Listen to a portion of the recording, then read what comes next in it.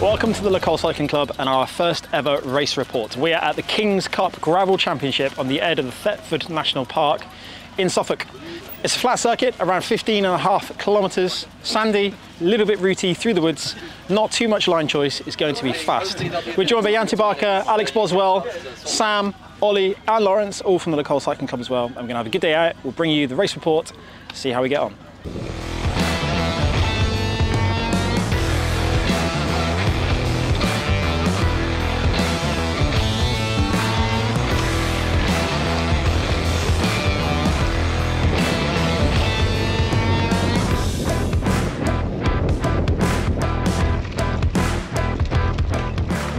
So we've just been round for a tempo warm-up lap, meaning we've got five laps of race to go.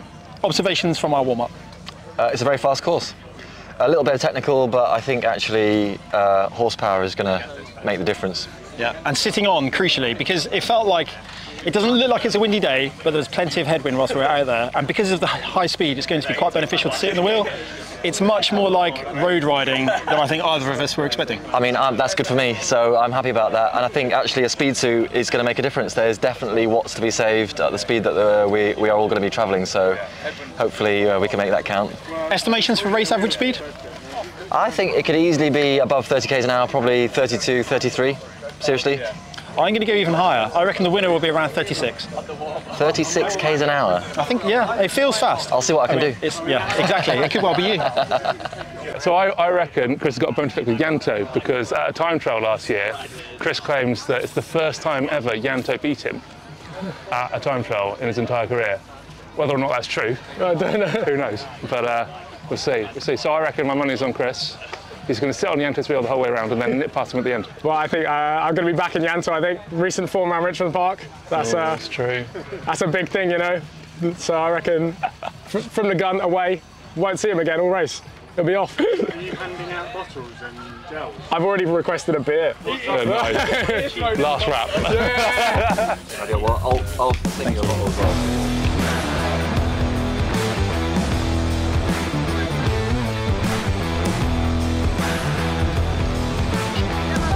Come on!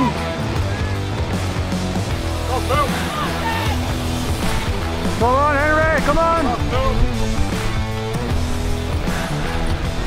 With over 150 riders on the start line, getting a strong start was going to be incredibly important. As with many off-road races, this means an almost maximum 30 to 60 second effort before heading into the narrower trails.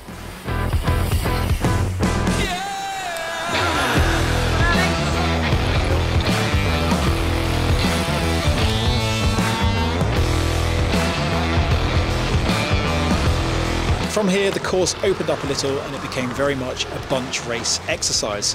One solo rider rode alone off the front with over 30 seconds advantage for the first three laps of the race.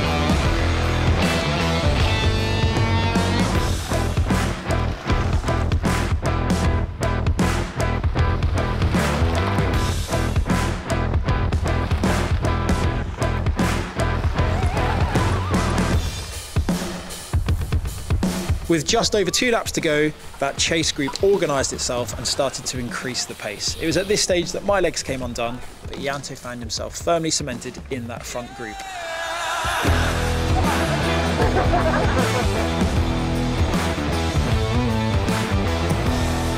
From here, the racing was somewhat tactical but also aggressive. It did, however, come down to a bunch sprint for the winning positions, with Jacob Vaughan, a fast finisher, winning the event. Yanto found himself in seventh place, and I crossed the line a few minutes behind in 10th. All in all, a really good showing for our first ever appearance at the National Gravel Championship. That was amazing for an hour and a quarter, and then it's just pure suffering. But it's fast. I think I'm probably quite close to the estimate at the speed. But just, wow. No one else had signs. I don't know what else to say. Just hard. Very, very hard. We'll get a proper debrief in a bit.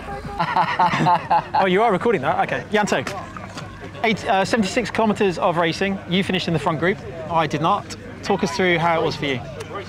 Uh, I'll start by saying it was it was good. it's a it's a funny experience because we don't race anymore because we're retired. Well, we don't race that often, but it was so good being in a group with you for the first hour and a half, whatever, and um, just using you as my marker, knowing you know what you're doing, working through the group. It was so much fun, and I, I really enjoyed it.